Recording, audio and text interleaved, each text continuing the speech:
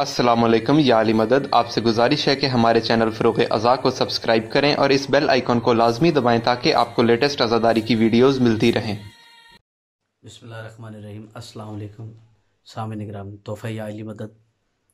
آج چار شبان المعظم کے دن کا صدقہ میں آپ سب کو آمد باسعادت کے سلسلہ مبارکباد پیش کرتا ہوں اور دو چار باتیں آپ سے شیئر کرنا چاہتا ہوں کہ مومنین اس وقت جو وبا کی وجہ سے ملکی حالات اور دنیا میں مکمل حالات اس وقت لاک ڈاؤن ہے۔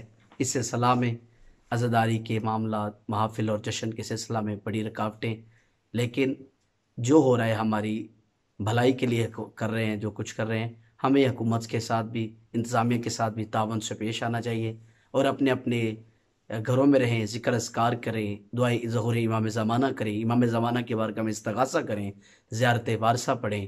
اور مولا سے استغفار کریں، اپنے گناہوں کی معافی مانگیں کہ مولا ہمیں ایسی وبا سے محفوظ فرمائے اور ہماری عزداریاں دوبارہ بحال ہو جائیں۔ اور اسی مقام پہ مجھے ایک واقعہ یاد آ رہا ہے جناب موسیٰ علیہ السلام کا، کہ جناب موسیٰ علیہ السلام کی قوم پہ عذاب نازل ہوا کہ پانی کی بڑی قلت ہو گئی۔ لوگوں نے کہا، یا نبی اللہ، آپ اللہ سے دعا کریں اور بارش ہو جائے، ہماری قوم عذاب سے بچ جائے۔ جناب موسیٰ علیہ السلام کوہ تور اللہ کے پاس ملاقات کرنے کے لیے گئے اور اللہ کی بارگاہ میں دعا کی مالک، میری قوم عذاب میں مبتلا ہے، پانی کی قلت ہے، بارش ہو جائے، پانی کی بڑی کمی ہے، جانور مر رہے ہیں، بچے مر رہے ہیں۔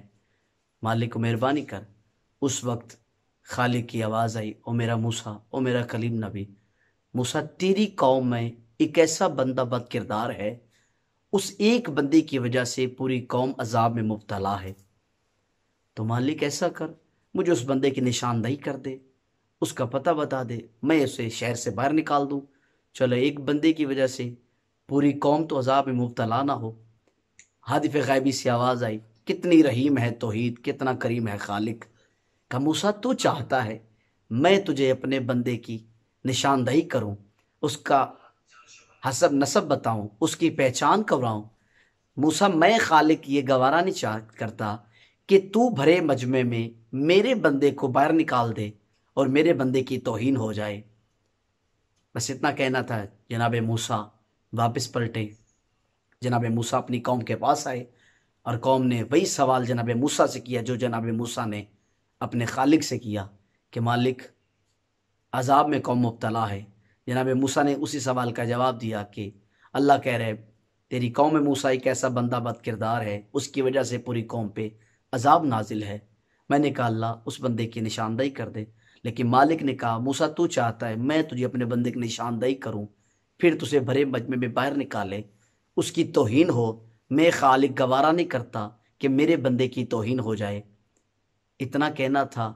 ابھی بات مکمل ہوئی اور بارش ہونا شروع ہو گئی۔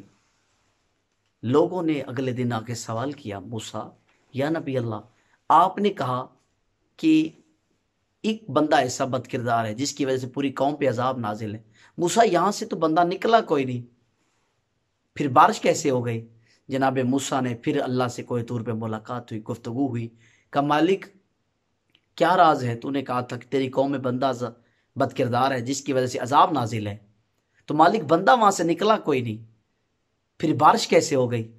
اس وقت میرے خالق کی، میرے غفور کی، میرے رحمان کی، میرے کریم کی، میرے جبار کی، میرے ستار کی، میرے کہار کی، خالق کی آواز ہے موسا جب تو یہ کہہ رہا تھا نا کہ جو جملہ بات میں نے کہی تجھ سے کہ میں خالق گوارا نہیں کرتا، کہ تو بھرے مجمع میں میرے بندے کی توہین کرے، اسے باہر نکال دے۔ جب تو نے اتنا لفظ کہا تھا نا، اسی وقت وہ بندہ وہی موجود تھا۔ اس نے روتے ہوئے ست کے دل سے معافی مانگ لی، میں کریم خالق نے اسے معاف کر دیا۔ میرے مالک، میں دعا گو ہوں۔